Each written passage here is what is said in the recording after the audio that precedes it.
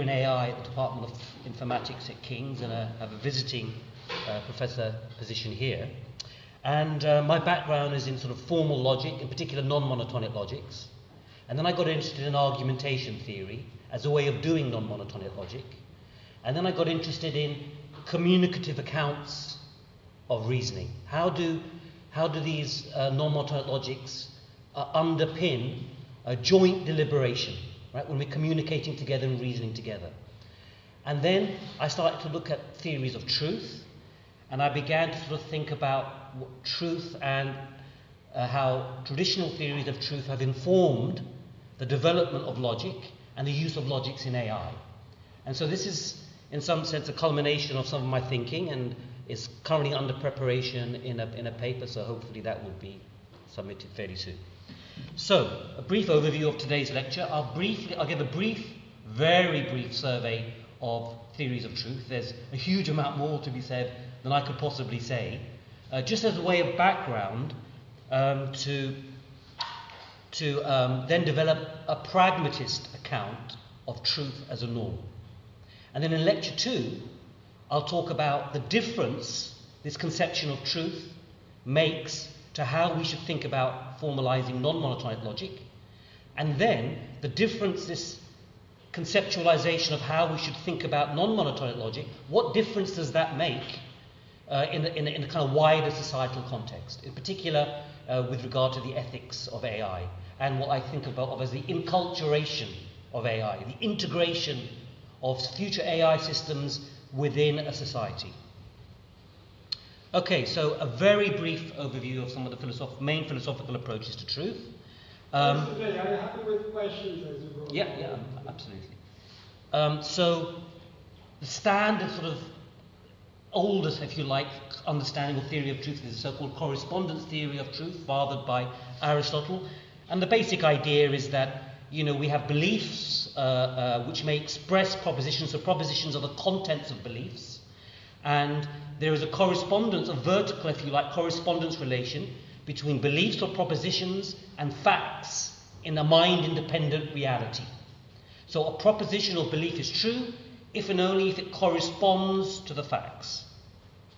Of course, you know, I mean, there's, there's a lot of work in this, but fundamentally, one of the main key objections to this theory is well, look, we've got these facts out there in a mind independent reality. We've got these beliefs and propositions here in our head, as it were, how is it even intelligible to talk about something that's independent of mind, facts, and in particular the relationship between beliefs and propositions and a mind independent reality?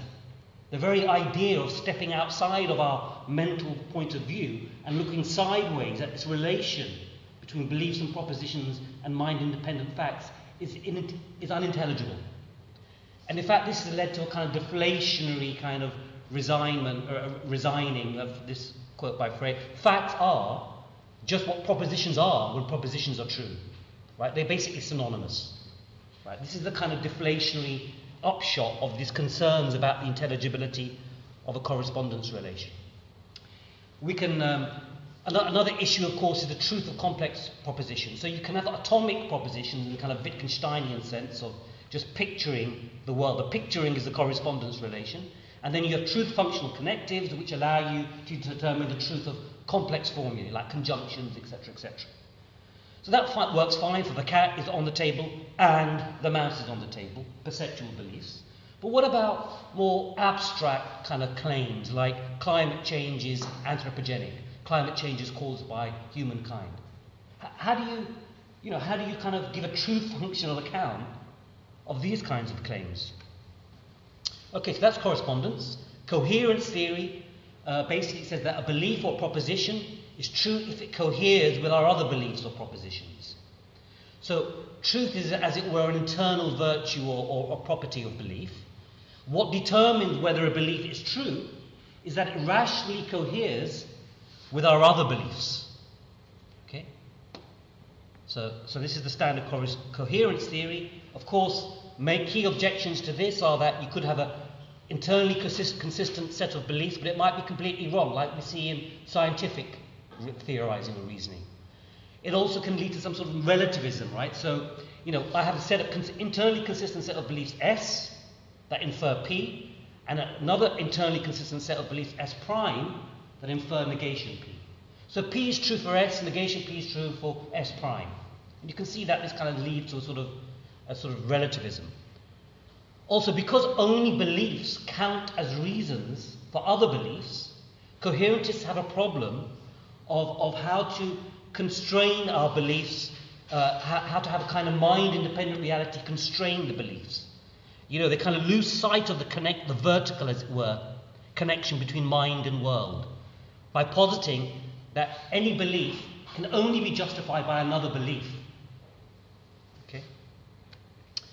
Then the third kind of main class of theories, and, and arguably nowadays probably the most predominant amongst epistemologists uh, looking at, at, at truth, are, are, deflationary theories of truth.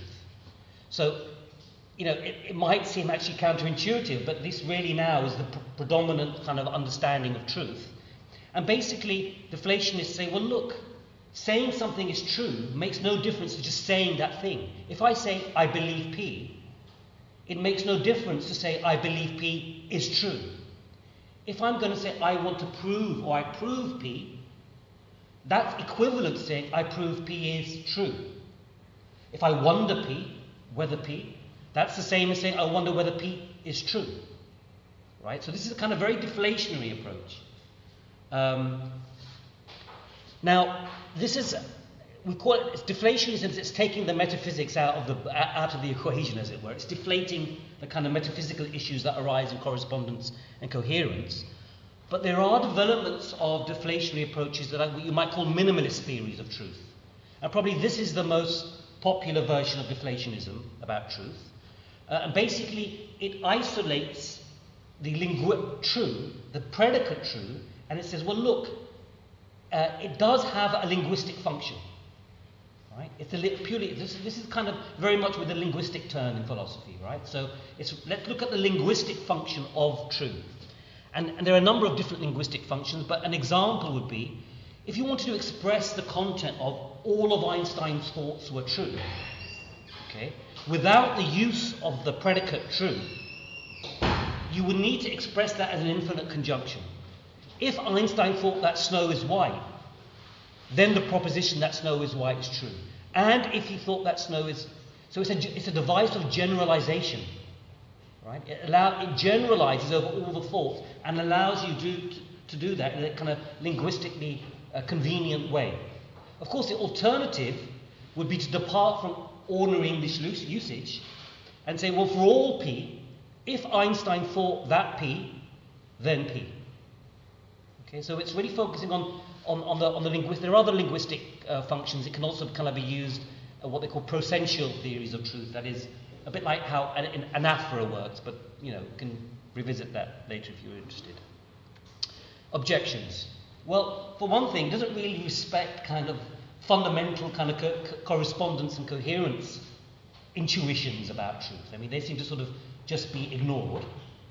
But I think an important objection is well, why restrict ourselves just to the linguistic function of the predicate? Why not embrace a wholesome, descriptive, and possibly prescriptive account of the linguistic and, and non linguistic function? In other words, how truth informs and affects our practices. Okay? And this, and this is where we, we, we start to kind of revisit some of. Um, just, just do that one, yeah? Okay. No, it's not working.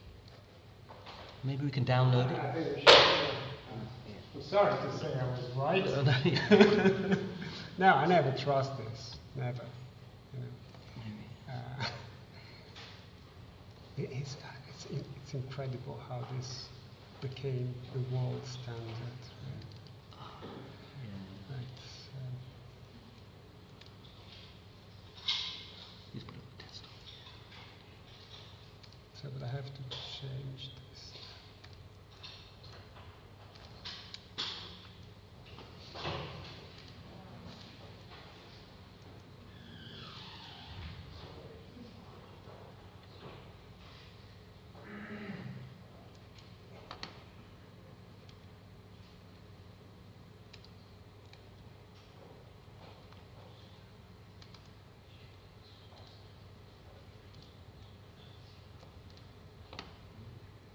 should be.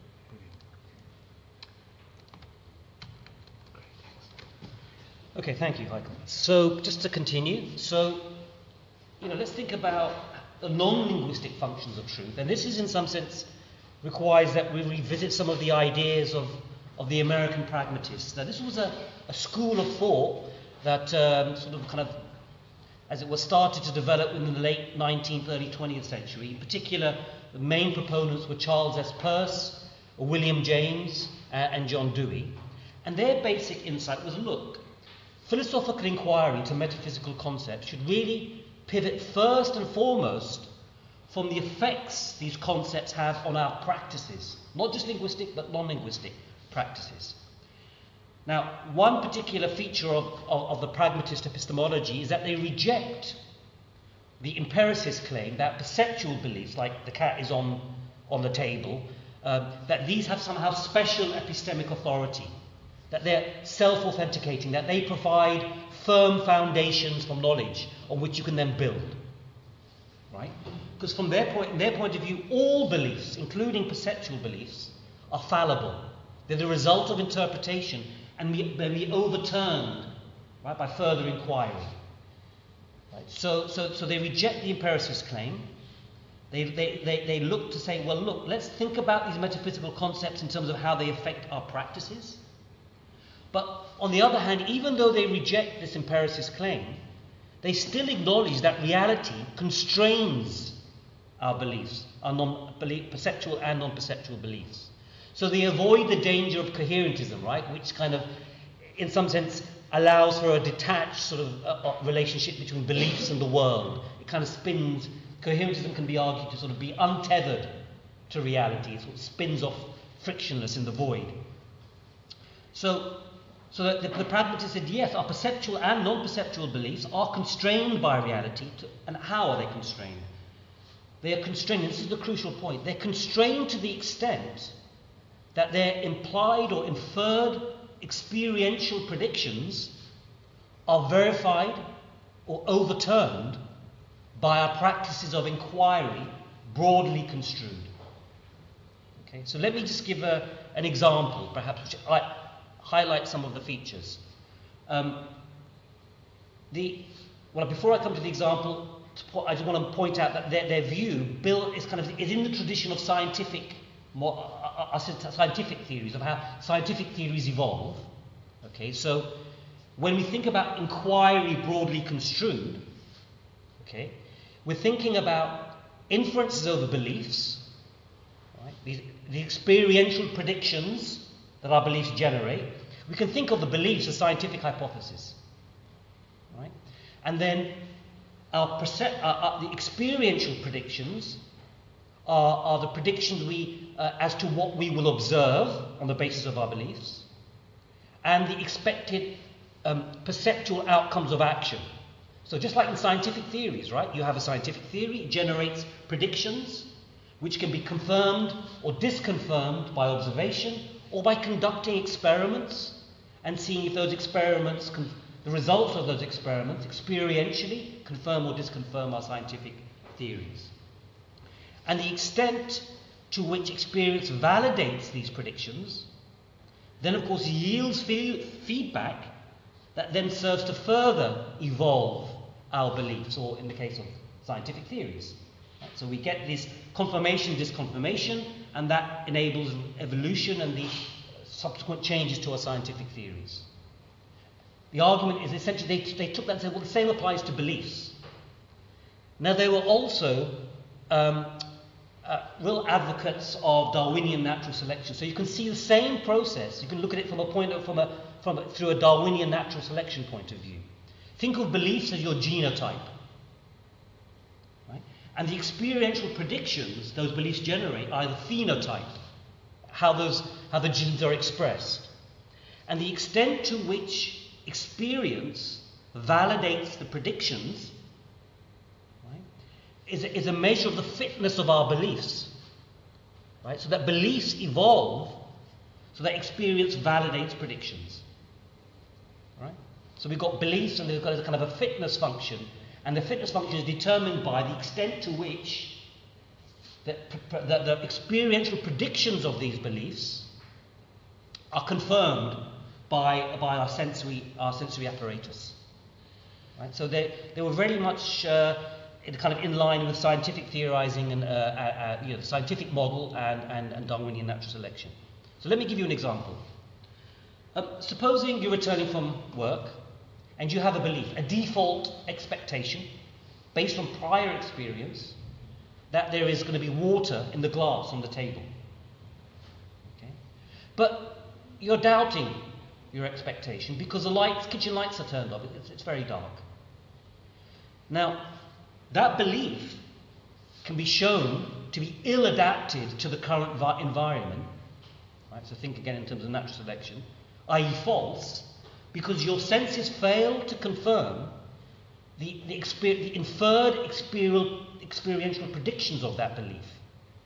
Right? The, the ob- for example, um, the on the basis of that belief, you would have a predicted experiential outcome uh, which is the observation that there is water in the glass when you direct your attention. So it's, it's a dark kitchen. You, you, you're wondering about, you're, you're in doubt. Is there water in the glass? You direct your attention. That's all right. Shall I? No, I, I think I have no idea. Thanks. Okay. Um, it's an act of inquiry. In further doubt, right, as to whether P is the case, you inquire further by the action of tipping the glass to your lips. And your senses fail to confirm the predicted outcome of the, think of it as an experiment, an action, the tactile sensation of water at your lips. Okay? So, so your belief has been disconfirmed, it's been shown to be false, ill adapted to the current environment because of the success of these predicted outcomes, would have confirmed that P was adapted to your environment. But they failed, these experiments. They've not, they've not, they've not served to confirm the, the, the, the veracity of your belief that there is water in the glass. Right? So, so I'm just now building a story of, of a general kind of inquiry that sort of starts with just perception and basic action. Okay, now you, your beliefs in, which, by the way, include the default expectation H that your partner is at home, are revised, right, which think not, not the usual kind of principles of belief revision, non-monotonic logics, are revised to include negation P. There is no water in the glass. From your revised theory and your default expectation that your partner typically fills the glass of water for when you arrive, get come back home, you infer non-monotonically, defeasibly, that your partner is not at home. Right? So you've got, as in non-monotonic logics, you have kind of two defeasible inferences that are in conflict. Your partner is at home, your partner is not at home. You are then motivated, prompted to inquire further. You consult your phone. And it, it reminds you that actually it's your partner's mother's birthday. You add that to your revised theory, and now this is sufficient to arbitrate given you know this extra information, in favour of the non monotonic inference that your partner is not at home. Right, so now you've got your updated beliefs. Now, your partner, the fact that now you have the belief your partner is not at home, this generates further experiential predictions. For example, there will be no response if I call out my partner's name. And if there is no response, Again, we're, we're, using our sense apparatus to confirm our beliefs. Right? So this is so we start with kind of sensory confirmation or disconfirmation of, of, of the experiential predictions of our beliefs. We then move to kind of like more system two kind of conscious inference, non-monotonic inference that generates more experiential predictions, and so on and so forth. This is the cycle. Now, one of the key features of the pragmatist approach was that they emphasized the ideal of intersubjectivity in inquiry. Our perceptual beliefs are confirmed to the extent that their experiential predictions are shared by the many. Right? Number one. So that's on the perceptual side of things. Percep- inquiry as kind of just perception. But also the reasoning component of inquiry I just described, you know, the individual sort of reasoning non-monotonically, um, that, that, that part of inquiry that yields predictions is ideally conducted jointly with others. So, you know, now let's look at some of these complex propositions like climate change is, is, is, is caused by man, humankind, right? Climate change is anthropogenic. You, you assert that, that climate change is anthropogenic. I, you know, saying, well, no, it isn't. You know, I'm a, I'm a climate change denier. Inquiry is ignited. Right? And you both, ideally, of course, this is you know, not often the case, unfortunately, but you both ideally combine your epistemic resources to jointly resolve the doubt, to jointly come to an agreement. You combine cited evidence and your inferential capacities in reasoned debate and argument, in the ideal case, of course, uh, and, and try to come to an agreement right, as to whether climate change is anthropogenic. Okay. So I like this quote from William James. Um, it's not that we start with facts and inquire. Facts are the outcome of inquiry. Right? There is no appeal, appeal to standards outside a process of inquiry. The question should not be what is a fact, but what makes for good inquiry. And here's a quote Truth happens to an idea, it becomes true, is made true by events. Its verity is, in fact, an event, a process. The process, namely, of verifying itself. Right? Truth happens to an idea, it's the outcome of inquiry. Now, as I said, the, the, the, pragmatists had a, had, a, had a wholesome kind of fallibilist epistemology. All beliefs are fallible. Of course, as I wanted to emphasize, that did not, they did not deny the constraints that a kind of mind independent reality has on our beliefs. But given this idea of a, defa- a fallibilist epistemology, that also suggests, of course, that beliefs can be said to be true to the extent that they've not been overturned by inquiry. This brings in credences, right? Kind of a, a more statistical uh, interpretation. We'll, we'll come to that in the second lecture. Um, so, beliefs are true to the extent that they have not been overturned by an inquiry, where inquiry is instigated by positive reasons for doubt, by indications that beliefs are ill adapted to the current environment. The glass of water on the there's, there's water in the glass on the table. There's a reason for doubt. The kitchen lights are off. I inquire further. I direct my attention. I, I, I take the glass to my lips. I have experiential predictions. Those experiential predictions are disconfirm, disconfirm the veracity of that belief. I then inquire further, kind of individually inquiring, as it were, by applying non monotonic inference. I'm using inquiry, I, I, appreciate, in a very broad sense.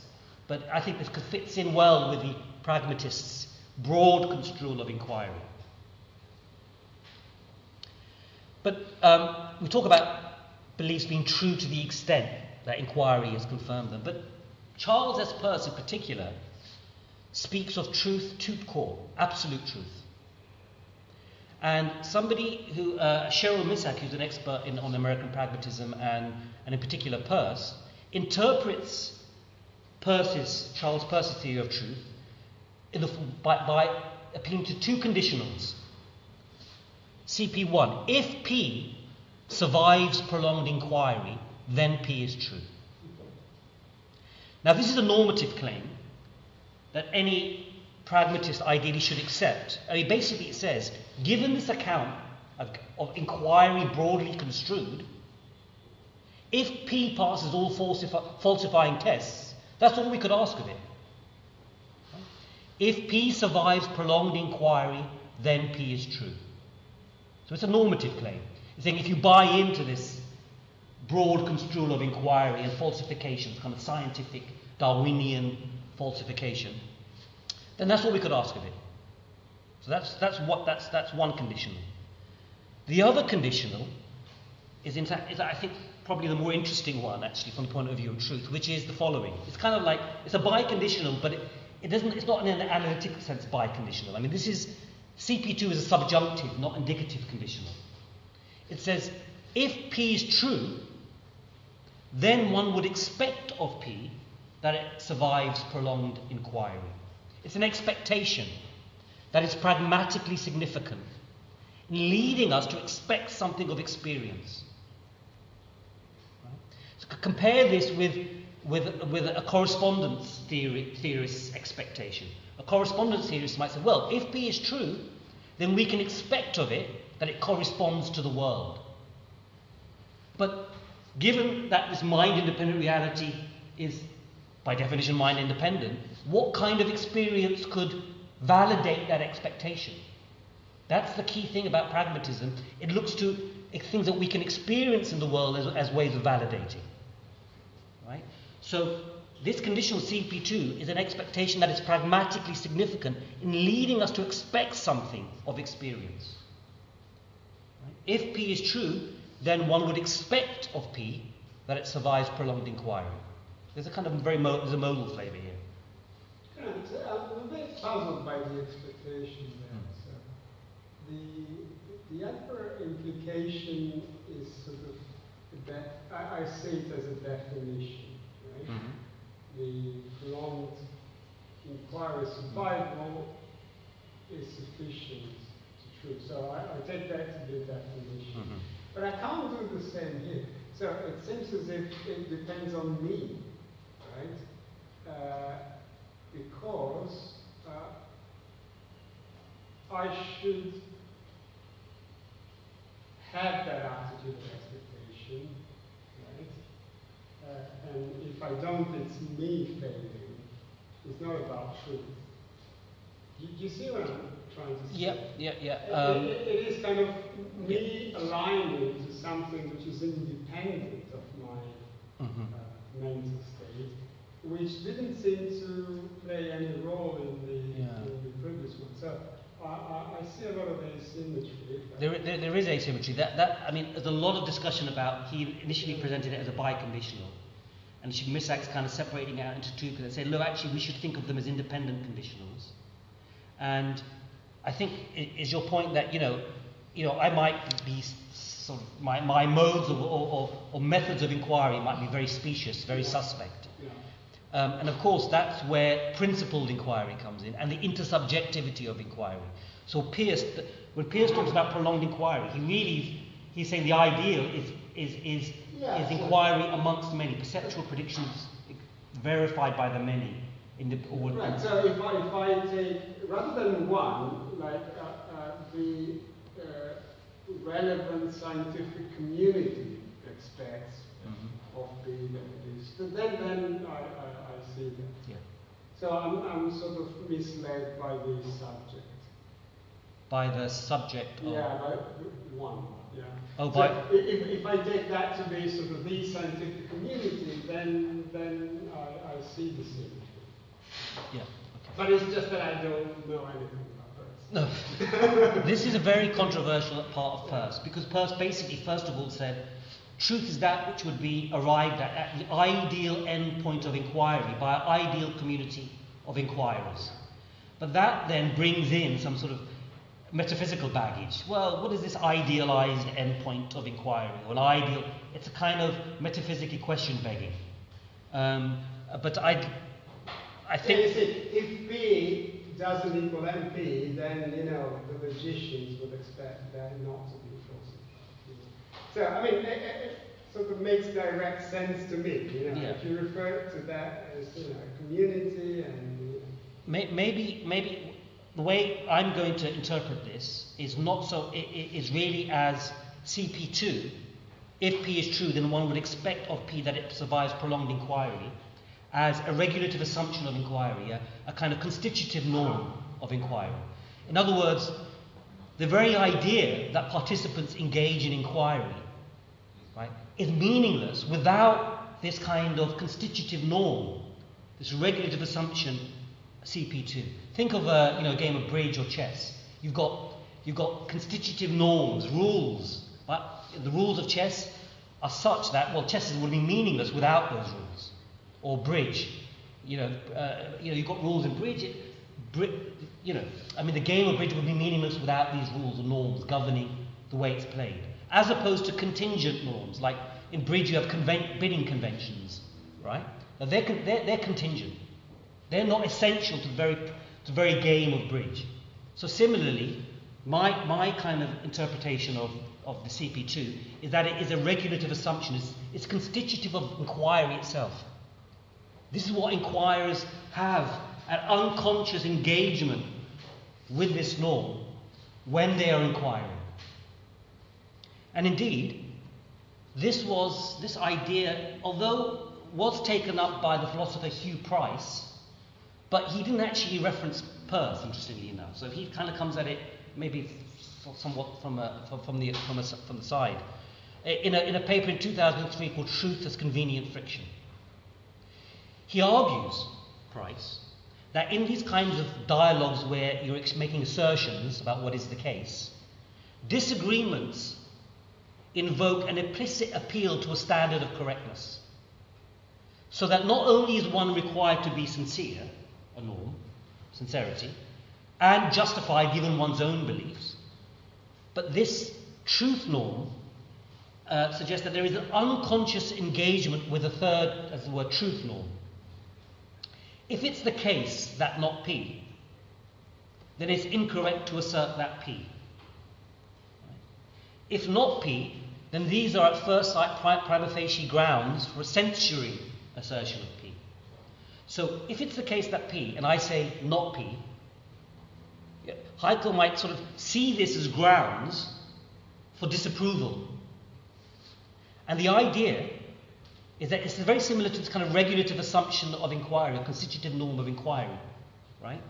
What the idea is that once disagreement comes into the picture, this motivates resolution of the disagreement. It ideally motivates dialogue and joint reasoning. So the idea Price develops is that truth norm is immediately, TN, is immediately assumed to be violated right, by someone with whom an interlocutor disagrees. Right? Disagreement per se is thus considered grounds for disapproval, which in turn motivates resolution of the disagreement. And I think it's worth reading this quote. This quote. Without truth norm, TN, Price says, Differences of opinion would simply slide past each other. Differences of opinion would be, seen, would be as inconsequential as differences of preference or aesthetic taste. With TN, with this unconscious engagement with this truth norm, disagreements automatically become normatively loaded right, because of the censure, the disapproval. And, disagree, and the norm makes what would otherwise be no fault disagreements into unstable social situations whose instability is only resolved by argument and consequent agreement. And it provides an immediate incentive for argument. And then it holds out to the successful arguer the reward, as opposed to the censure or disapproval, the reward consisting in her community's positive evaluation of a dialectical position. Okay, so I say, you know, climate change is anthropogenic. Uh, Hykel says it's not anthropogenic. Immediately, we kind of did unconscious engagement. We need to agree. You know, and it, there's a kind of underlying sense that there is disapproval, that there is censure, because one is claiming something, you know, which is the other thinks is, is as it were opposed by the truth of the matter. But if you look at this, this, this norm of price, firstly notice it only applies to explicit, explicit disagreement about assertions in dialogue. So he only locates this norm as operating in dialogue with others. But what about inquiry to resolve uncertainty more generally? I might simply ask the question, or be asked, is climate change anthropogenic? You'd expect some kind of injunction to resolve, uh, answer that question given some uncertainty. What about individuals inquiring rather than in dialogue? What about perceptual beliefs about the environment? There is water in the glass on the table. Okay, so these are kind of left out of his picture of, of this truth norm operating in dialogue.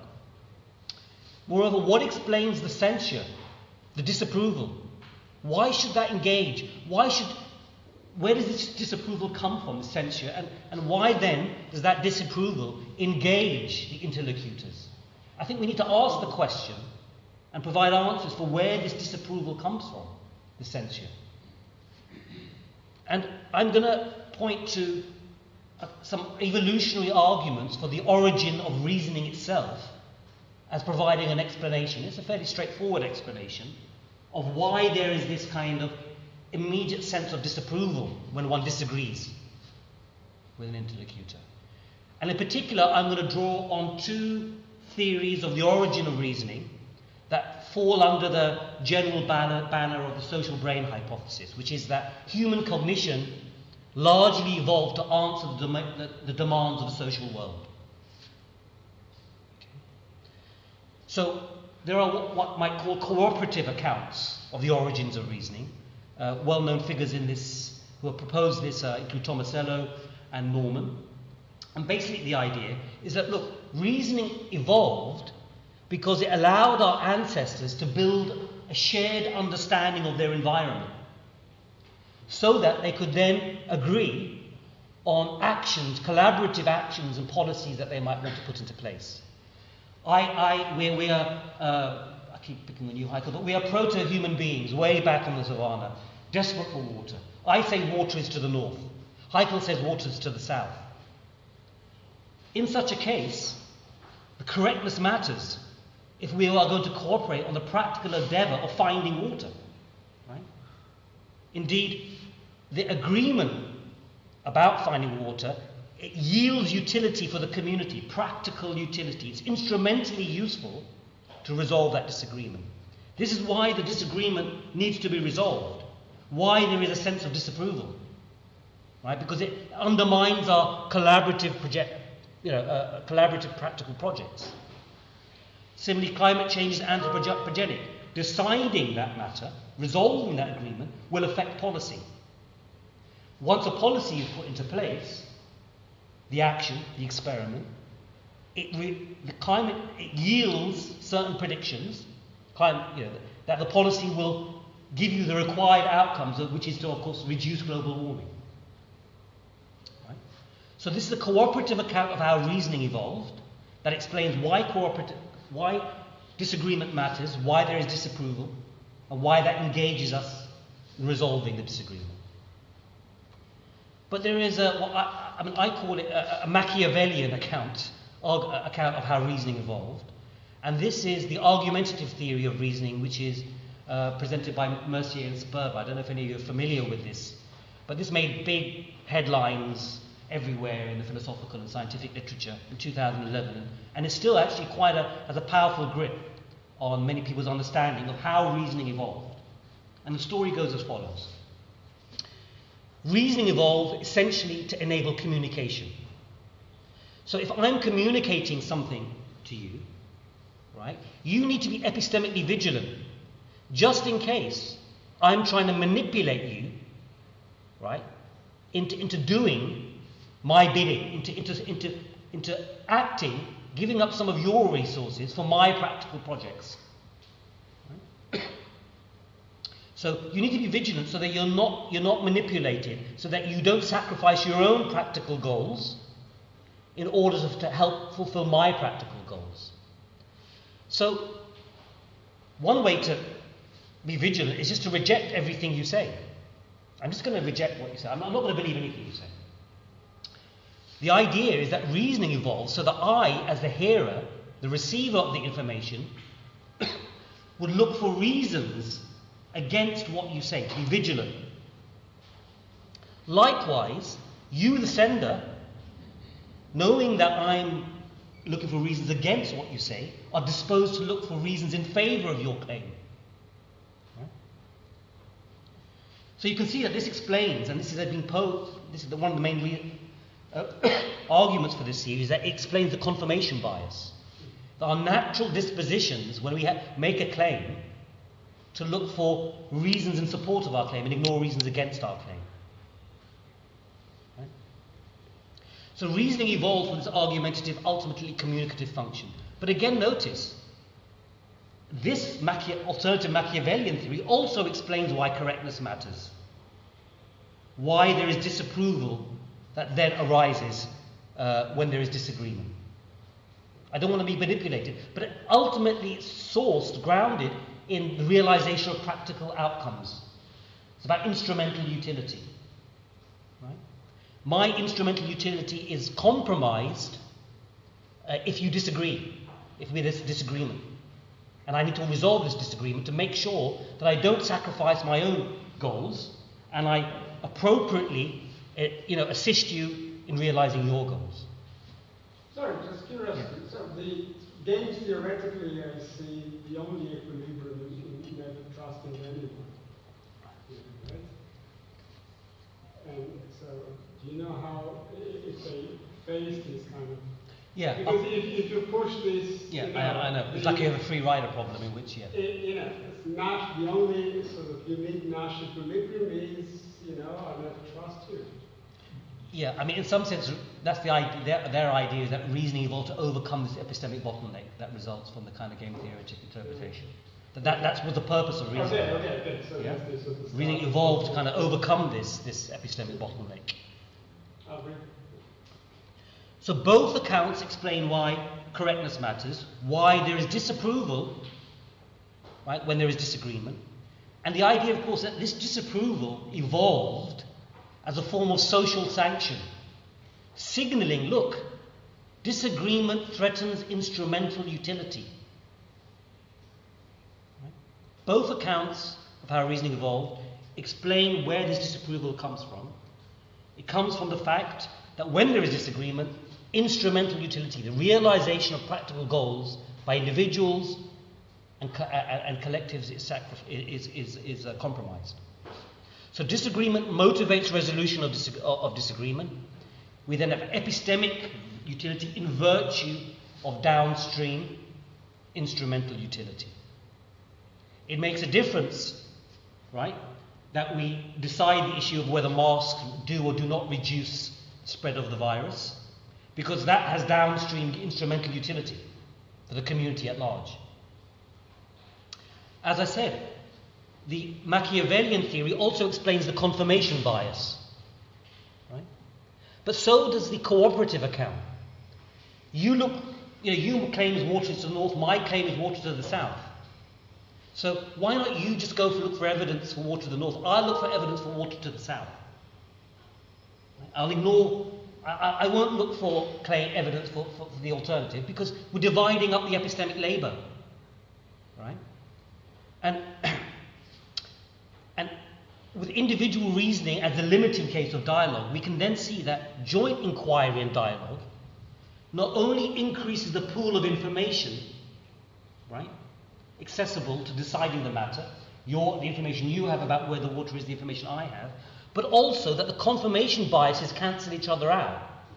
So that reasoning proceeds in a more rational way, let's say, by really kind of bringing together the arguments and the reasons for claims from different parties. So this is, this is also demonstrating, and it's also a point made by Mercier and Sperber, that, that reasoning is conducted best when engaged in dialogue. It's a fairly, I think it's a fairly intuitive uh, point. Okay, now the third little piece I want to add to this story is, is to appeal to um, the work of the philosopher Bernard Williams, uh, very well known uh, uh, British philosopher, who, um, you know, I think some of you may be familiar with, it, familiar with the idea of pragmatic genealogies, like a, a Nietzsche's genealogy of morals. The idea is what these philo- sometimes the philosophers do, they'll, they'll take a hypothetical state of nature and they'll say, let's imagine this concept was not there within the social kind of infosphere, the, in social epistemology, the kind of in the social sphere. What would be missing if this concept were not there in this kind of hypothetical state of nature? And, but, and Williams makes the argument that, this comes slightly to it, in some sense to your point, Hykel, that, that it's not enough that truthfulness serves purely instrumental, uh, um, is, is purely instrumental individual contributors. So we've got a collective, a community of individuals, but one individual might say, well, look, I'm not going to bother looking for evidence for where the water is. I'll leave that to others. I'm a free rider. Also, individual contributors may be deceptive, right? If, if my instrumental value is served at the expense of the, of, the, collab- the projects, the practical goals of the community, right, I might deceive. I might, you know, violate this norm of sincerity. Right? And then, of course, communities may be self deceptive in favouring tribal binding utility over long term instrumental utility. So, in some sense, you know, you have the communities of vaccine uh, deniers who say that it's causing major diseases. Now, it's, it's useful for them to affirm that belief jointly because it serves to bind their tribe. Right? It's a kind of tribal binding belief. But in the long term, it's not instrumentally useful. Right? So Bernard Williams develops an account, and basically it's, it's uh, of why we would have come to intrinsically value truth, not just because of its instrumental value. It's intrinsically valuable.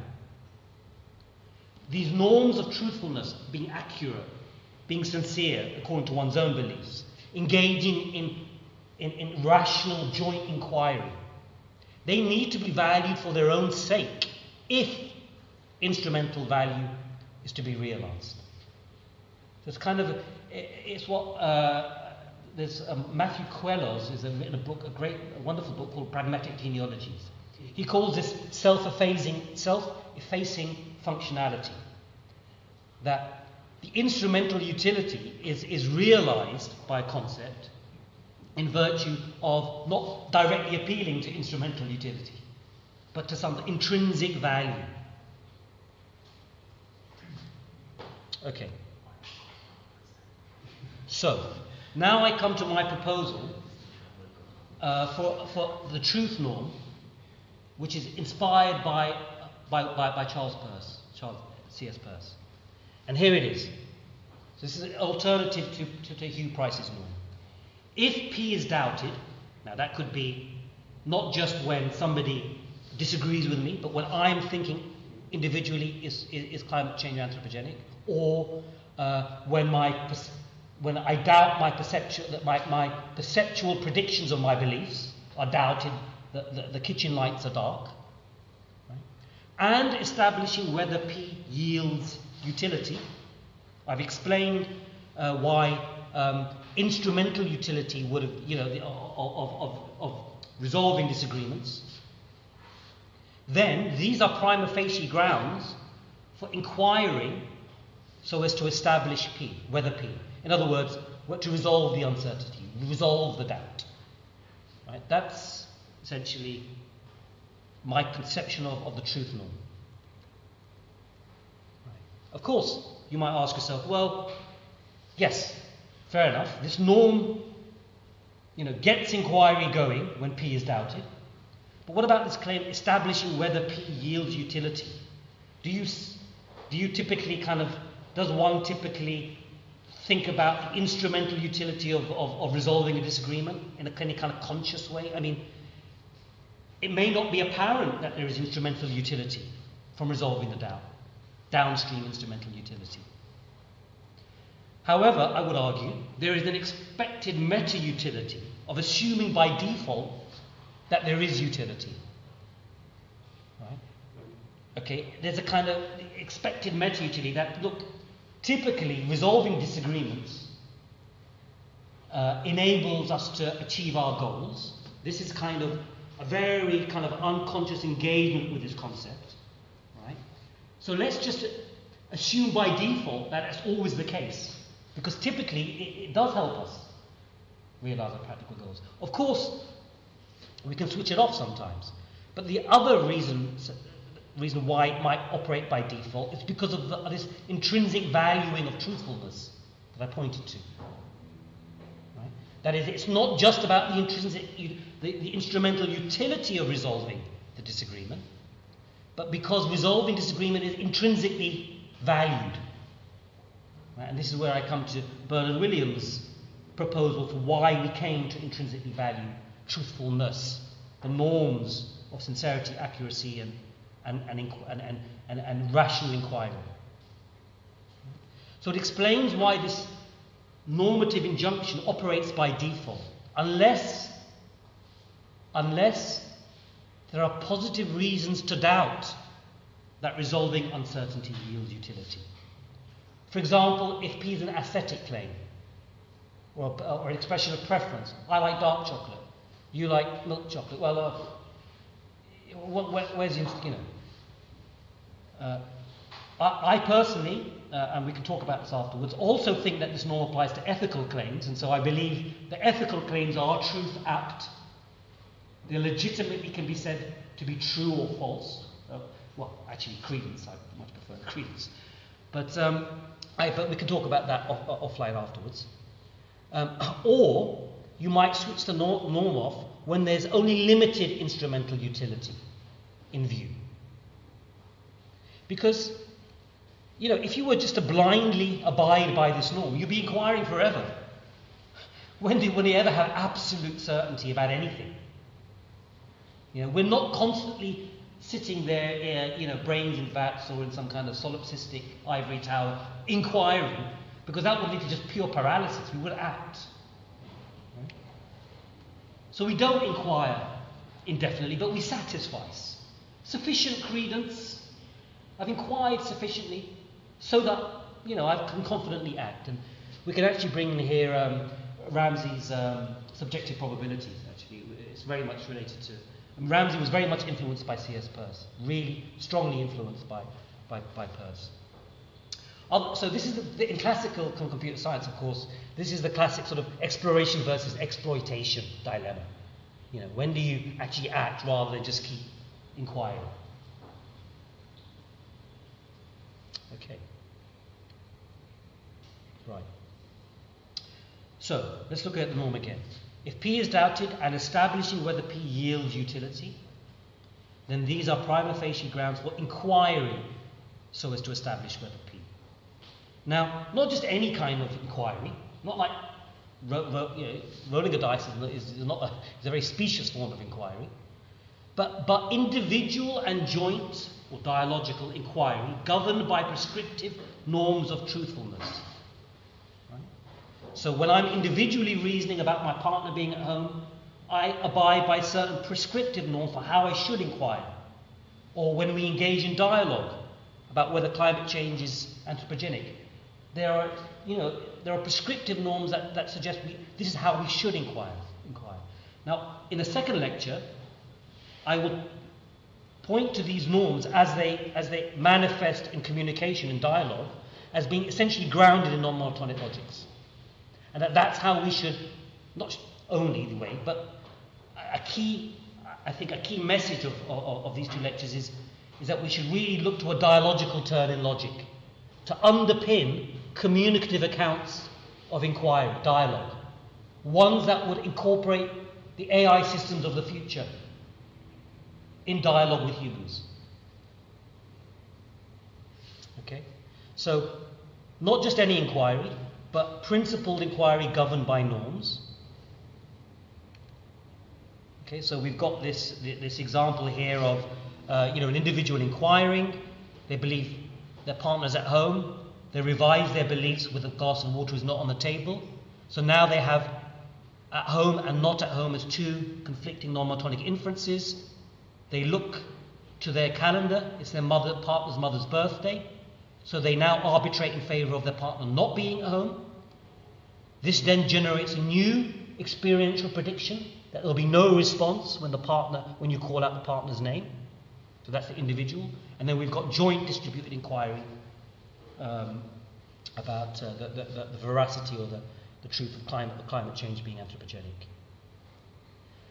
Now I'm going to end um, with another 10 15 minutes, maybe maximum, um, to talk about. See, so far, uh, and as I pointed out with Price's account, these, these notions of the normative status of truth only apply when it to, to individuals, well, actually in dialogue mostly, but also I'm saying to individuals inquiry, as in inference, individual or joint inference amongst many. But what about what about these perceptual beliefs? Like the glass of water is on the, you know, there's, there's water in the glass on the table, the, or the, the cat is on the table. What about how does the truth norm apply in, in these situations when it's trying to establish the truth of perceptual beliefs? Well, I suggest that the answer can be found by looking towards um, recent uh, work in, in what, what's called predictive processing theories of cognition. So these are all the rage at the moment, right? They are, this has been proposed as a unifying account of cognition, of perception and action. There are people working in this neuroscience, in computational neuroscience, in philosophy of mind, in all the cognitive sciences. It, it, it's also has a very information theoretic basis. And here, just a, a small selection of, of references, but there are hundreds of papers and, and many books. Uh, in particular, a book I really like recently is Anil Seth's book, Being You, A New Science of Consciousness, which also tries to explain the phenomenology, phenomenology of consciousness in terms of this predictive processing theory of cognition. So let's just very briefly review this theory. Uh, it's going to be a very high level review. We have a naive understanding, perhaps, of the brain constructing complete, a, a complete corresponding picture of the world from noisy sensory data. This might be considered sort of a naive understanding. We get all this sensory data in, and we kind of like paint a kind of picture of the world in some kind of Cartesian theatre or whatever. Okay? But of course, this is completely intractable. And it just does not, make, you know, from the point of view of cognition and computation. Right? What is needed is a pragmatically useful model. And what is useful at any point in time? What is useful is what is unexpected, what is surprising, sense data from the environment. So the idea is we, we evolve uh, in a society in which we, we, we, we learn certain default, we have certain default priors. They're, actually, they're thought of as probabilistic causal models of expected environments. So we go about, we have these assumed expectations about the environments we will find ourselves in at any particular moment. Right? These are your, your, your default learned priors. Causal probabilistic models of environments we expect to find ourselves in at any moment in time. Right? And these environments, bound, are predicted sensory states. So these models generate predictions about what sense data we're going to get in at any moment in time. And of course, the familiarity with these environments, of course, are good for our survival. Right? We, we want to be in environments which we, which we have experienced before, which we know how to act. And what is useful is the sense data, right, that, that is unexpected, that, that, that contradicts, that challenges our expected sensory predictions that are generated from our internal models of the world.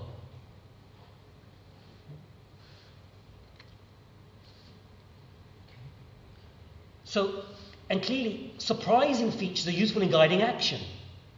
Because if we attend to the surprising features, then this guides us in how we can act to change the world to keep us in the bounds of our expected environments. Right?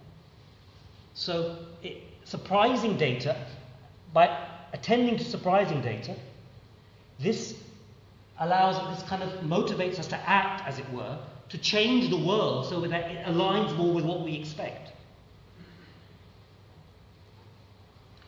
Now, how does the brain manifest this kind of, um, uh, uh, uh of, um, of, of, cognitive, uh, cognitive narrative, as it were? Basically, what the brain does is it approximates Bayesian inference. Right? It, what, what it needs to do is it infers a model of the environmental causes of sense data using perception and action to minimize prediction error. So, let, prediction error, and I'll, I'll explain with, with the story in a minute so the prediction error, remember, the brain is interested in surprising data because it tells the brain, look, you're not in an environment in which you expect to be in. Something surprising. Maybe you need to act to make sure you find yourself in an environment you are expected to be in because that's good for your survival. Right? So you've got this incoming sense data, right, that challenges a prediction. There's a prediction that there is a glass of there's water in the glass on the table. The incoming sense data is saying there is no glass of water on the table. There's a prediction error between what I predict and what my sense data is telling me. and the brain's main function is in minimizing this, this error, re- re- resolving, as it were, the doubt. Sorry. Yeah. My doubt is that how can the pragmatism um, account for the origin of our belief, of our um, expectation? Because since, uh, from uh, what I uh, understood, the pragmatism ignores uh, the um, relation between our mind and the world outside, the world um, mind independent, how can explain the um, higher uh, structure of our belief, of our expectation? How we form our Expectations, expectations? That yeah. seems to be quite uh, um, uh, with a difficult uh, structures, with quite com- complex complexes. How can Yeah.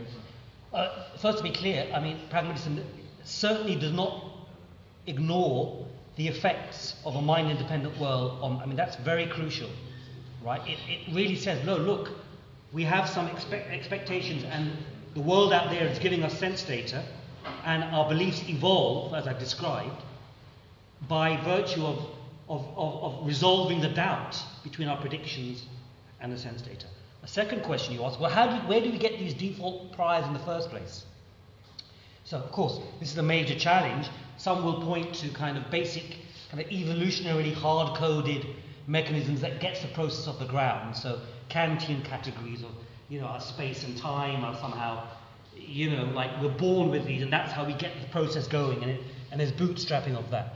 But of course, the, to be honest, the, the, the, the approximate Bayesian inference does provide, in some sense, a partial answer to this. I mean, it's very complex the way in which it, the brain does this. It approximates Bayesian inference, but uh, it does. I mean, I can offline go into a bit more detail about that. So, so this is the picture, right? I walk into my uh, kitchen, right? I, I've walked into that kitchen many times. Yeah? Um, what I'm experiencing is not the sense data from which I construct a picture. My actual experience, my phenomenology, is the predictions my own brain are generating about what I will experience. It's a, effectively, it's controlled hallucination, right? Or a kind of simulation. I mean, we can even go, ma- you know, into matrix territory here, but, but no, but I mean, really, this is what these latest theories, unifying theories of cognition, suggest, right? That your experience, moment to moment, are, is actually constituted by your sensory predictions. So you return for, as I said, let's go through this example again. So I'm returning from work, the, the, the lights are off, I doubt P. Right? I then inquire, I focus my attention on the glass. I raise the glass to my lips. Right? There are experiential predictions of directing attention, of glass to water uh, on my lips, right? That these are these predictions, right, are not validated by the incoming sense data, and that's the only sense data that, right, uh, that uh, uh, as it were, goes to up to my conscious level. It's basically a very machine learning inspired idea, right? So we have a high, in the cortical hierarchy, okay, we have at the lowest level, we've got the world here, at the lowest level, we have raw statistical data. Data goes up this hierarchy, and it is ab- and they're the levels of abstraction. So at the top of the hierarchy, we have concepts, abstract concepts, got water in glass. You below, further down, edges, boundaries. Right, at, this is kind of very machine learning. At the bottom, raw statistical data. Now, the brain, right?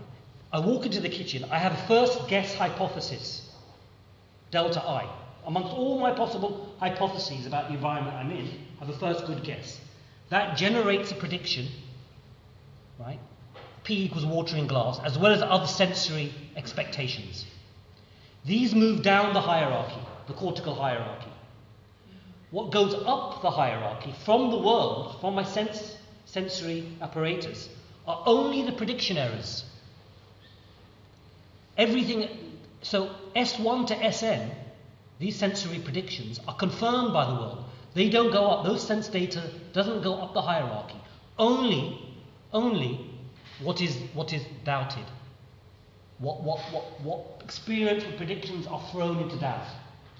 These prediction errors are the only data that goes up the hierarchy. And in fact, the number of neurons going down in our, in our brains um, uh, that are uh, um, going down the hierarchy, if you like, from, from the inside of the brain to the outside world, um, number, outnumber neurons going up by about 10 to 1.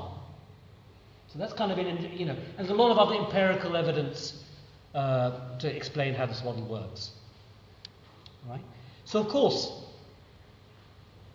this, this, this, this new information, there's no, there's no water in the glass, rises up to the conscious level and is therefore available for, for conscious inference. Remember, I use that information individually with a hypothesis my, my partner is normally at home.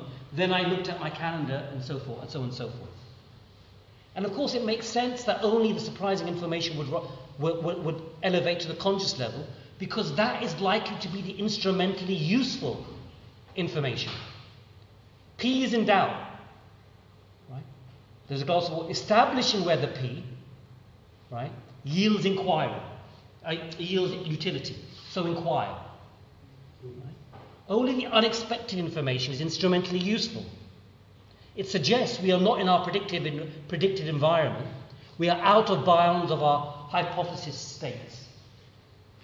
And so, of course, establishing whether P is relevant to the goal of acting to stay in my expected environment.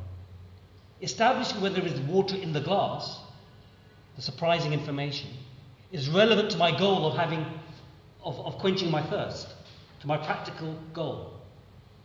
So we see how the truth norm applies here. Right? P is doubted, establishing whether P yields instrumental utility by virtue of being unexpected, surprising, and thereby telling us we are not in our ideal expected states. If we're not in our ideal expected states, then that information is instrumentally useful in getting us to act so we come back into our expected state, our environment, expected environment.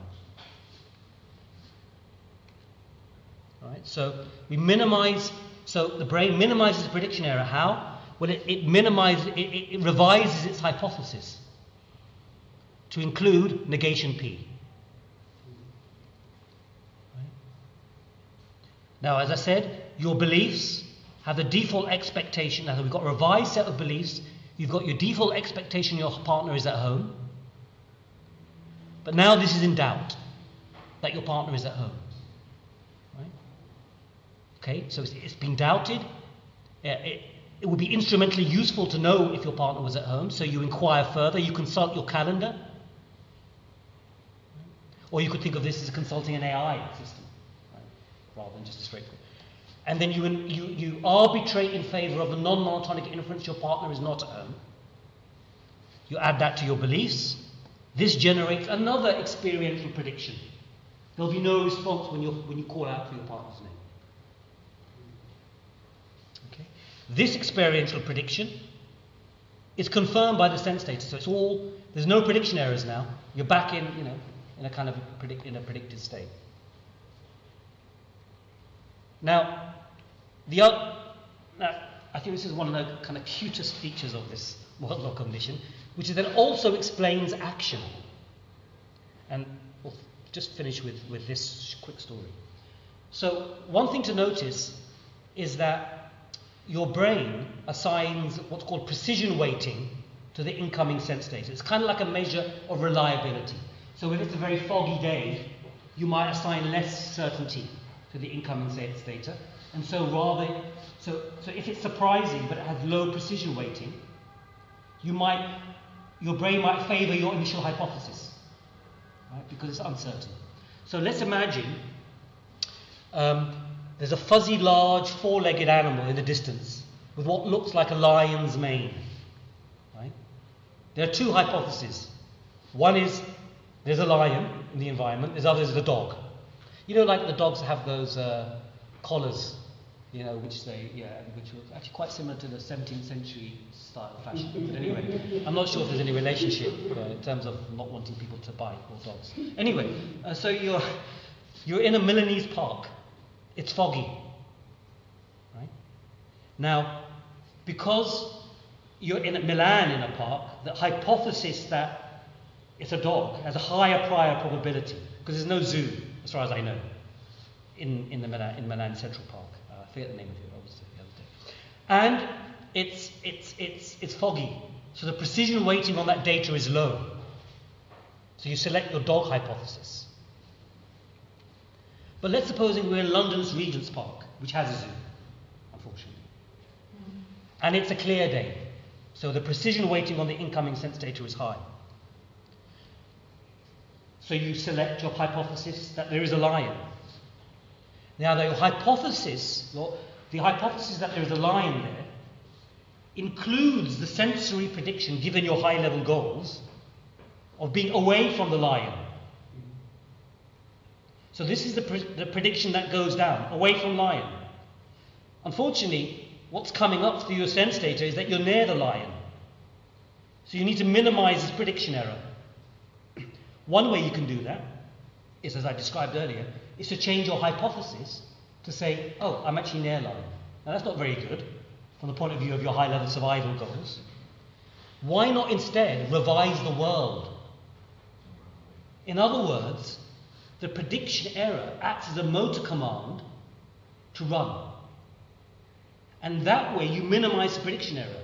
You end up in your desired environment, the state in which there is a line, but you're away from the line. Again, instrumentally useful. Re- resolving, res- res- resolving the doubt, in this case, between the prediction that you're away from the line and, and, and the sense saying you are the line. In this case, resolving the doubt is achieved not by, re- not by minimizing prediction error by revising your hypothesis, but by acting, as it were, to change the world so that your expected predicted environment in which there is a line there and you're away from it align with the world.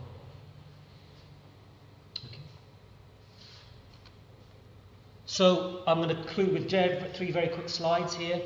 Basically, what I'm going to suggest is this normative theory of this theory of truth as a norm. First of all, it respects coherentist intuitions, right? but it extends coherence. So it's not just that my own beliefs cohere, but that they cohere with the world of sense data and with the beliefs of others, including, you know, I've got here a sort of icon for a phone, but it could be an AI.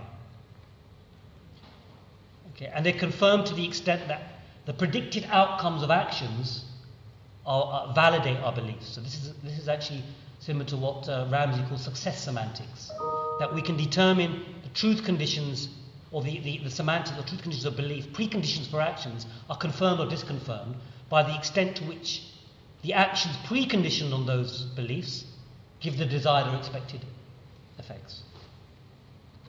It preserves the correspondence intuition because our beliefs are adapted to successfully enable action. So we can see that truth is a relation of correlation rather than correspondence. In the same way that a map correlates with the terrain, it doesn't. It's not an accurate picture of the domain, but it correlates sufficient to enable successful navigation. And thirdly, it respects minimalist intuitions.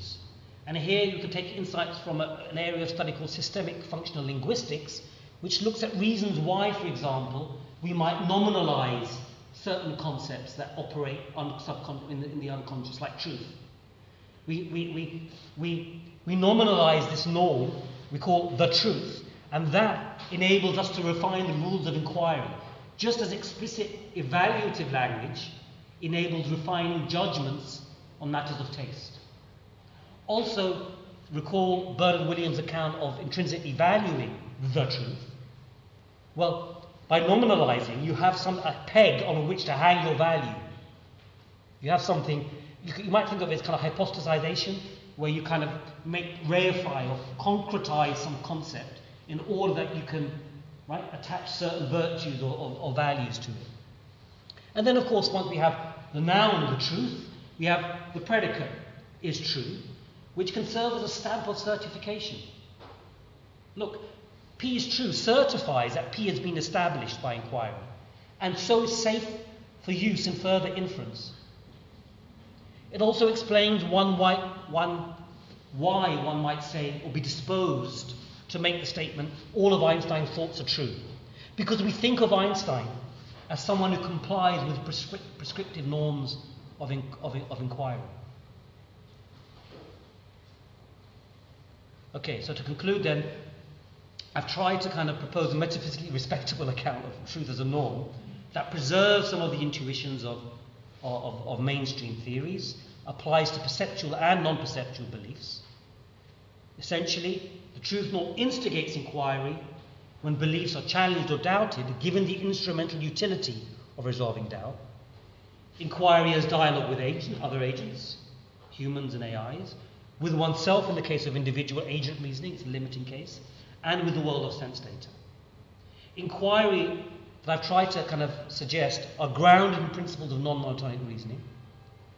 And as we'll talk about tomorrow, I think non monotonic reasoning, I think it has to be integrated with uh, uh, probabilistic statistical accounts. That's where you get the link between the world of sense data or machine learning uh, systems. And tomorrow I'll talk about my current technical research focus on these inquiry dialogues, how to distribute this non-monotonic reasoning in terms of the exchange of speech acts and the norms that go alongside making assertions and, and how non- certain normative obligations, if you these prescriptive obligations can be grounded in principles of non-monotonic reasoning. So that's for tomorrow. So thank you for your attention. Thank you.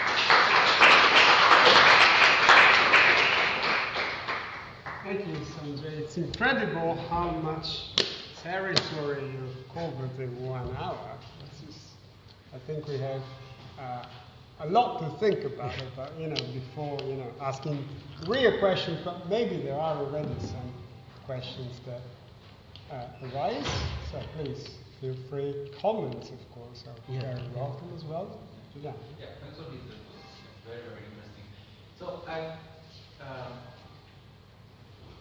I was wondering about when you start talking, you you talk about uh, uh, the problem of relativism for, uh, the coherent. Uh, now, in a sense, uh, uh, the same problem, if relativism is a problem, assuming there, and I'm, I'm, I'm okay with that, but that's an assumption. But, uh, it seems to me that also the pragmatic approach has the same problem. Uh, in the sense that, uh, uh, in principle, none of the constraints that the pragmatist uses uh, rule out uh, uh, relativism. Of course, you can uh, build an anti-relativist constraint into, for instance, the conceptual inquiry, Mhm. saying that you know the ideal end is that to have one, you know, uh, or you can just get you know be happy with the de facto uh, Mhm. absence of relativism, saying Mhm. well if you know if the community state is large enough, you know at least synchron synchronically, maybe Mhm. diachronically we have relativism because uh, things change, you know more. And, uh, so, uh, but uh, uh, so I guess I was wondering whether Yeah, we yeah. can comment on that a bit, and, and if Yeah. I can just have like a little uh, last uh, Sure. because uh, one problem here might be that uh, that might be a sign that uh, here what you are accounting for is not is not the, not, not not a notion like truth, uh, but more something like uh, uh, justified belief or things like Yeah, that. yeah. Some a more intersubjective, if you want. Yeah, intersubjective justification. Yeah. So okay. Yeah, actually, this is the, the, the, the, the route that uh, Richard Rorty takes. So Richard Rorty, will, who is you know the arch, as it were, relativist, um, argues that well, you don't need truth here. In this account, all you need is intersubjective justification. Right? That's what we're aiming at. Um, however, what he does not account for, and, and there's an interesting dialogue between Price and Rorty, which I can point you to, is, is, is this unconscious engagement with a norm. What, what would motivate getting us to further inquire, to seek intersubjective justification? Um, what Rorty seems to miss out is this unconscious engagement with the norm. I can point you to uh, the arguments back and forth between Rorty and, and, Price. Of course, from the point of view of, of, relativism, yes, you're absolutely right. I mean, the pragmatist would say, well, look, you know, P is true for you, and not P is true for me, but, well, that's not the end of the story. See, a relativist says, well, that's the end of the story. Yeah. No, but, but the very fact that P is true for you and not P is true for me, that very fact should instigate us, instigate in further inquiry. Yeah, it's, it's, it's, not, it's not like someone says fox hunting is, is bad, fox hunting is good. Okay, fine, let's continue on our ways. The very fact that there is a disagreement, the pragmatist would say, is what instigates into, and there is a of unconscious engagement with that, with that normative injunction to resolve the disagreement, and given some of the arguments I've proposed in terms of instrumental utility.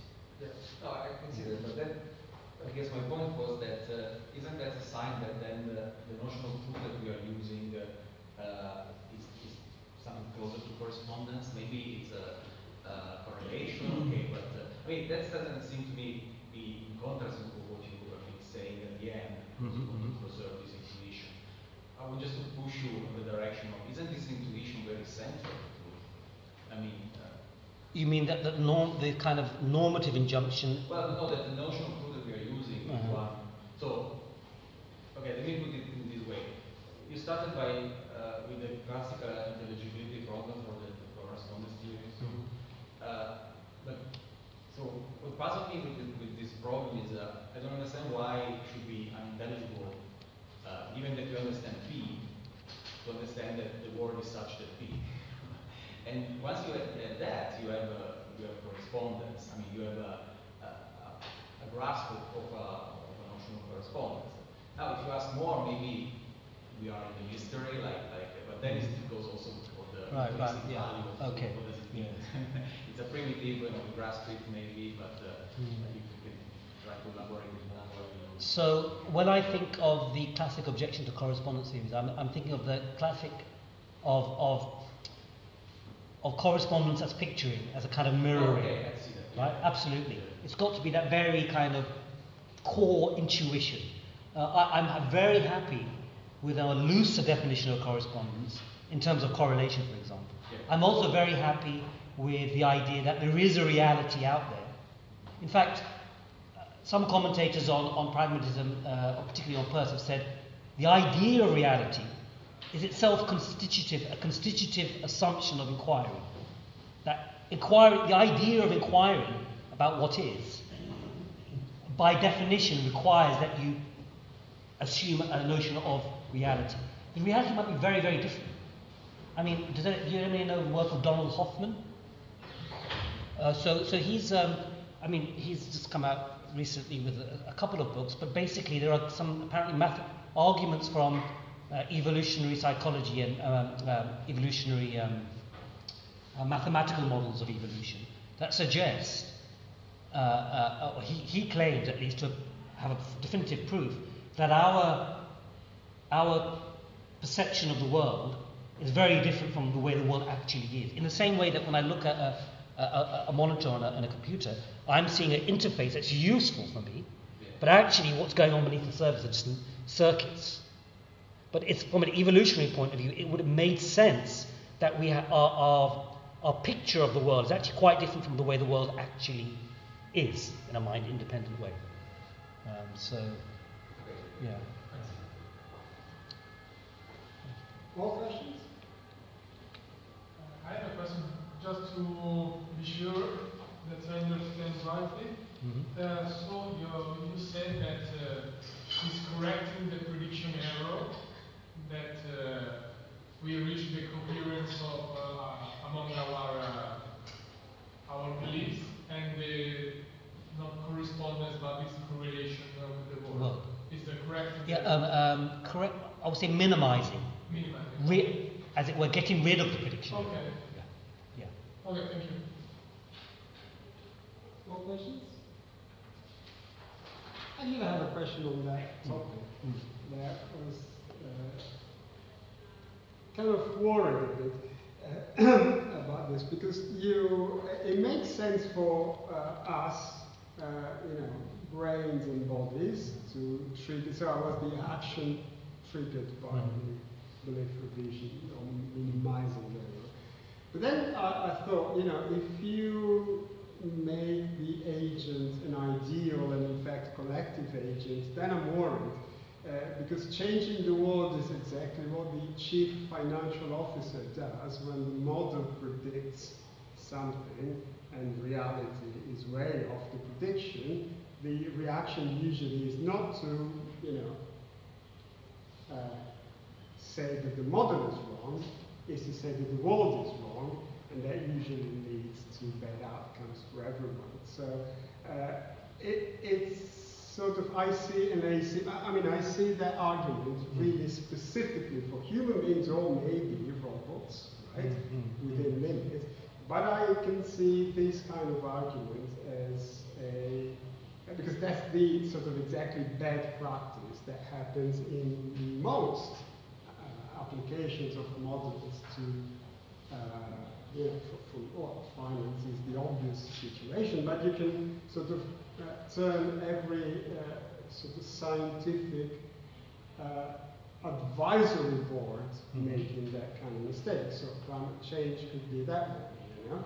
Uh, we have overwhelming evidence about the anthropogenic causes of climate change, but then, you know, you may get that model which says the opposite, and you trust the model and you change, change the world. Yes, model and, and that really is worrying to me. So I think, you know, it, it is specific to, you know, the individual agent. It doesn't have to be human, but it's the individual agent in individual abilities, you know, because if you do science like that, then you, you're open to this kind of situation. Yeah. And I was really worried yeah, well, I guess I guess you're talking about the accuracy of the model with respect to the world, and if it is, I mean, inaccuracies, and you act on the basis of that inaccurate model, you end up in a worse worse state. It's worse yeah, than yeah, having a bad, model, you know. Yeah, yeah. I mean, I'd like to, you know, I'm happy with the error because if minimizing error means, yeah. you know, changing the world in that way, it's I better see, to stay So where is the balance? Because ideally, you think, well, really, if you if you act on the basis of the model uh, really want to change your theory rather than change. I mean, that's what Lehman Brothers did, yeah, right? Yeah, and you know, we know what happened. Yeah, No, I take I take the point. Yeah. So it may not. Yeah, it may not transfer that naturally, as it were, to kind of scientific theories uh, and how they evolve. Yeah. Um, I mean, the, so, yeah. I mean, the financial uh,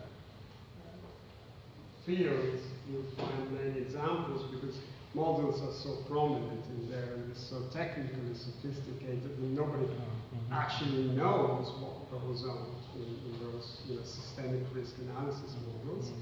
They get a number out of that. If it doesn't match, you know, it's the world that gets changed.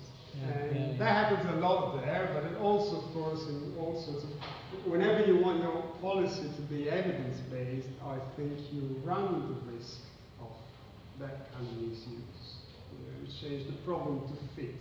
Yeah. Yep. Yeah. Okay. Yeah. yeah. So. Yeah. No, I see that. I see that danger actually. Yeah.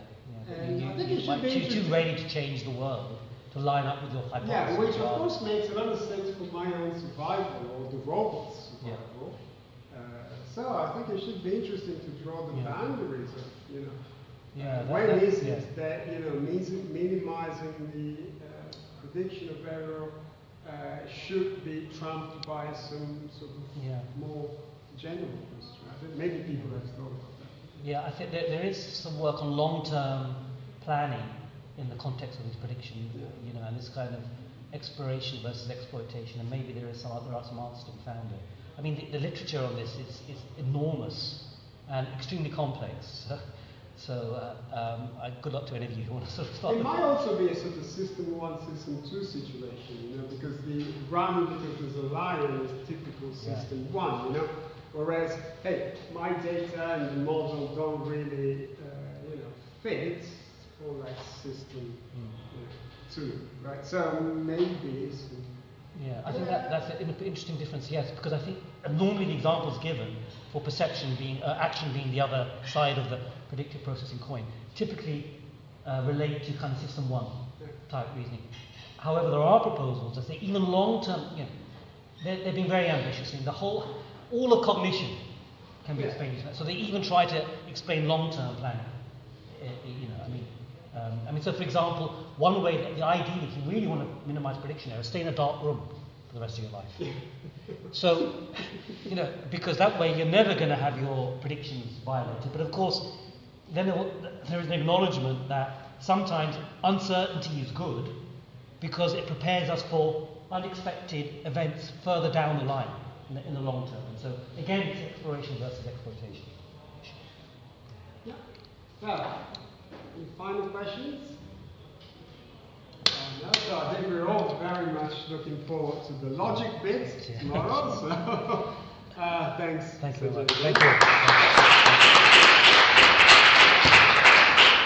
And see you all tomorrow. Okay, thanks. Yeah, it's amazing. Next, intro. Next. Fantastic. Well, thank you.